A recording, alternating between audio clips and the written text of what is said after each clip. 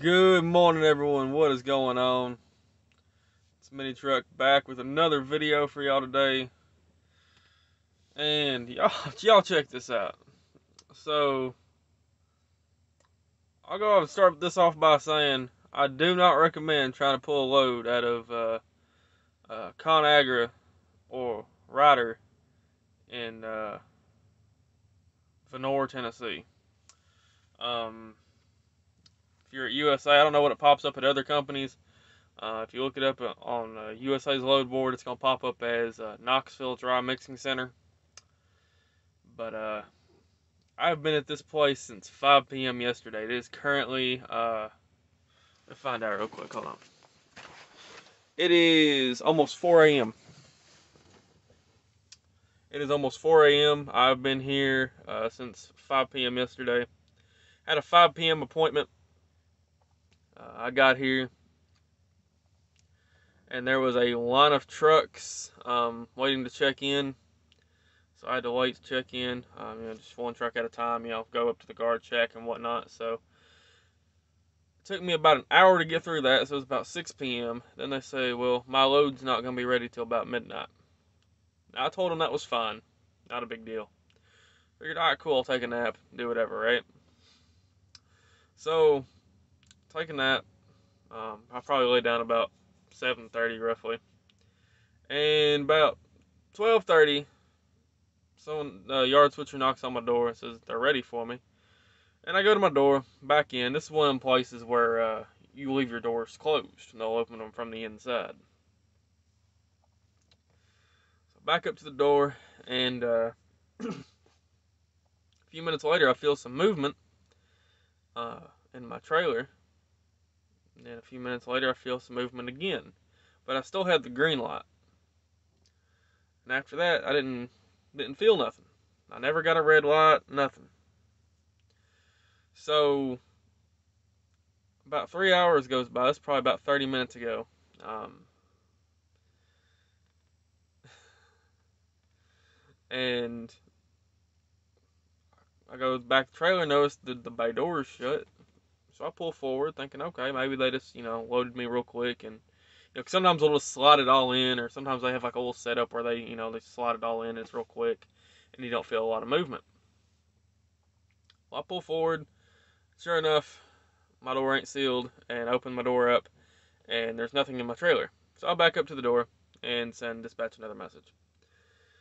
So I'm probably gonna end up losing my next load because it's got to be there at 5 p.m. today. I was gonna say tomorrow, but now technically today. Um, about a seven-hour drive, and it's getting to the point that I don't think I'm gonna make it, unless they get me loaded within like the next couple hours. And even if they do, I'm not gonna make my next load, so that sucks. Uh, just because well, I'm gonna be almost out of hours. I've been here long enough to do a 10 hour reset, so I'm sure I'm gonna get a message about how I didn't do a post trip. Well, I didn't plan on doing a post trip. Didn't plan on doing a 10 hour reset either.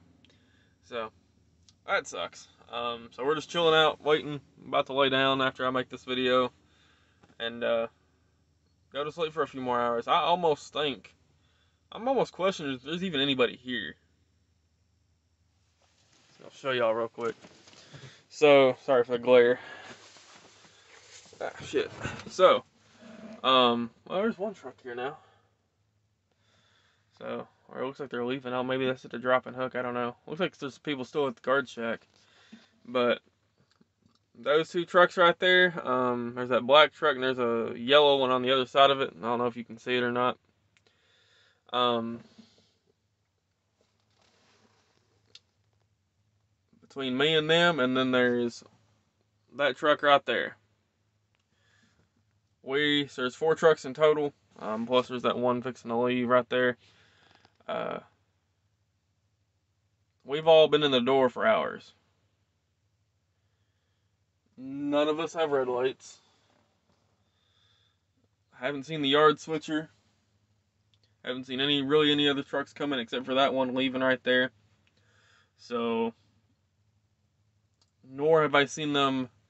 There's a little parking area in a gravel parking lot. I've not seen them bring up any other trucks as well, so. This sucks. Does not look like it's going to be a good week for me. There's a little bit of glare there. Does not look like it's going to be a good week for me. Um, see, I'll check this out. I feel like I haven't even really had any time off. I got home late Friday. Um, supposed to drop off in Nashville. That was a mess. Originally had an open appointment time um, at this location, and they switched it and did not tell anybody. So I get there and they're like, "Oh, we can't unload you because you don't have an appointment." So I got with dispatch, got with my DM. He tried to get it taken care of. They said they were gonna try to work me in about 2:30. I got there at about 11:30, almost 12, and about 2:30 rolls around. I wait, and uh, they tell me they can't get me unloaded. So apparently, we have a drop yard in Nashville that we rent from TCW. Um, we rent, I guess, a couple spots from them, and uh, had to drop it there. Picked up the trailer I have now, which is a uh, almost a brand new trailer. Headed home. Had to go pick up my transmission. Got there just before they closed to pick up my transmission for the C10. Um, let's see. Saturday, my, my buddy detailed the inside of the truck. Got it all cleaned up for me. Cleaned my windows and the floor and the seats and got it looking pretty good. Dash and all that too. So, uh, and while he did that, I tried to straighten up the, uh, the panels on the APU. Did pretty decent on that, but it's still about the best I'm gonna get it unless I replace the panels. Um, as well as I replaced the uh, rear fender as well. And then Monday, I was supposed to, well, no, not Monday, but Tuesday, I was supposed to leave out. Um, before I left out, I had to go to the bank. While I was at the bank, some um, some dude who I guess was pissed off and had some shit going on. It had nothing to fucking do with me. Uh, decided to throw his car in reverse and put his foot to the gas. Wasn't paying attention to the car that was parked behind him, which was mine, um, while I was inside the bank, and smashed into my car. So, my car, which doesn't, which just now has 50,000 miles on it, needs a whole new bumper and, and fender and headlight and shit. So, it's all fucked. That was nice. So, didn't get to leave out Tuesday because of that mess. Still trying to deal with insurance. Um, insurance said, "Well, we can't get a hold of his uh his my insurance said we can't get a hold of his insurance or his uh um or him himself, and we can't find a claim on his part. So as of right now, you're stuck paying the deductible." Oh, fucking nice. Told me that my estimate was like a thousand three dollars.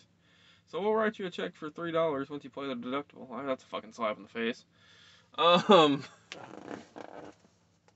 looked at a semi truck, but it uh tried to talk the dude down on it. He didn't really want to come down much, so still debating on buying it, but I don't know. But so we're just sitting here waiting. It's gonna be like I said. So I didn't get to leave out until uh till today. Went to go pick up this load. Um, and like I said, we're still here. So, and I, due to time, let me see here. Due to time, I just don't think. Like I said, I'm about seven and a half hours away. I don't think I'm going to get loaded anytime soon. So, if I'm even lucky enough to make it to my appointment on time, I have to, uh, my appointment time is. What time is it?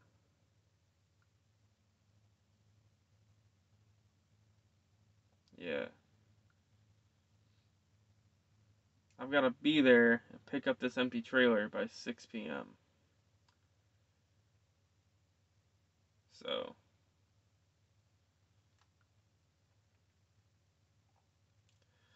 But it's a drop trailer, so I, I might still keep this load. I don't know. We'll have to see. But it still sucks, of course. Always sucks when this happens. so, well, I guess we're just gonna make the best of it, take a nap or something. So, I'll talk about this too, though.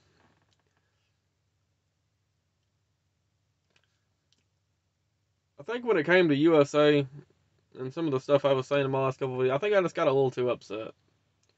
Don't get me wrong, this shit's still aggravating um, as far as like, you know, what they're saying about fuel discounts and um, there's still a lot of shit that they're telling us that really just don't add up,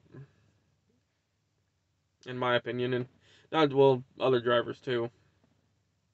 We just don't feel like some of the stuff they're telling us adds up. Um, which I think I just let it, you know, get me a little too aggravated, and it's kind of one of those things where it's kind of why I like try to stay away from the bullshit and like what everyone's talking about with the company because I ended caught in, get caught up in it. I found out the stupid shit and I let it get it, get me aggravated. So, but overall, USA really ain't that bad. You know, I've got an awesome, awesome DM or you know what do you want to call him? Dispatcher, him or her? Dispatcher, advisor, um, DM, fleet manager, whatever you want to call them. They get, they get called different things at different companies. This depends on who you work for. USA, it's a DM or an advisor. Mine is awesome. He is absolutely coolest one I've ever had. Does a great job. So honestly, he's probably one of the reasons I'm still here. You know.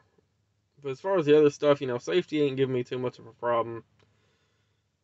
You can make your money here. It just feels like we're having to start we're getting to the point where we're having to start to work a little bit harder for it. Um yeah, they're not that bad. This, uh, this shit aggravates me, though.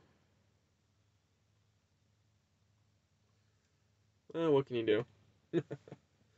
so, but I'll probably stay here for a while. I mean,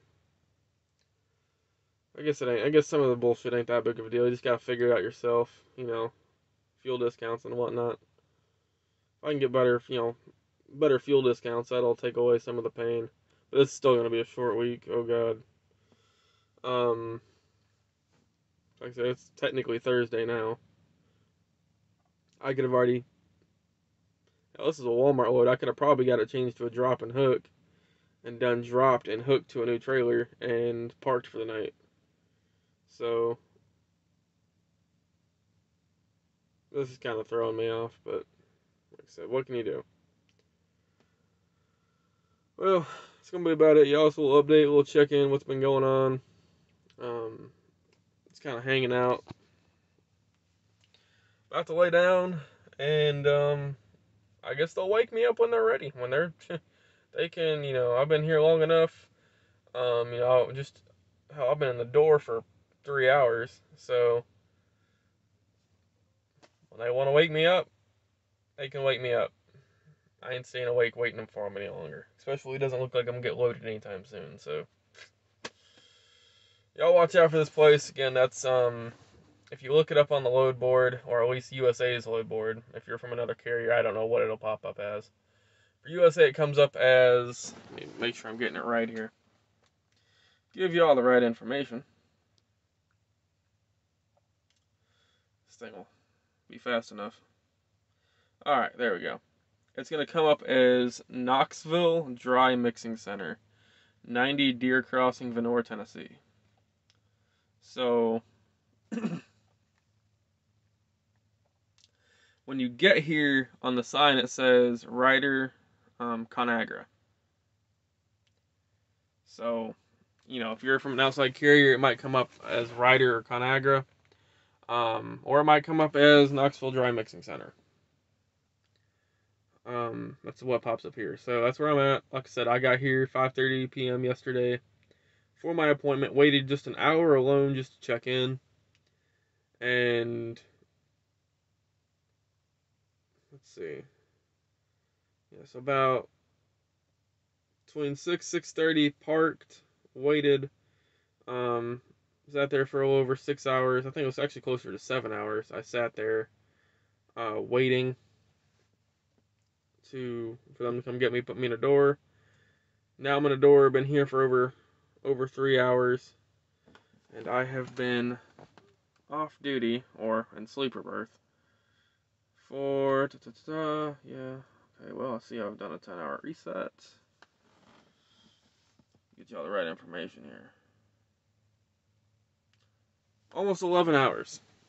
10 hours and 51 minutes. So, yeah. Let's go lay down and wait. So, appreciate y'all watching. Y'all watch out if you come here. Just know it could be a long wait time. I've came here before and it not be this long. It'll only be here like two, two and a half hours. So I don't know what's going on. But I appreciate y'all watching. Uh, if y'all would like, share, subscribe. Let me know if you got any questions. Uh, whoever keeps asking, does USA do a hair follicle test? I think I've responded like three different times. No, no, they don't. Uh, you're gonna keep asking. They're probably gonna start doing them now. but I appreciate y'all watching. Y'all would. Uh, like like, share, subscribe. Let me know if you got any questions. I'm tired. I'm laying down. Y'all have a good night.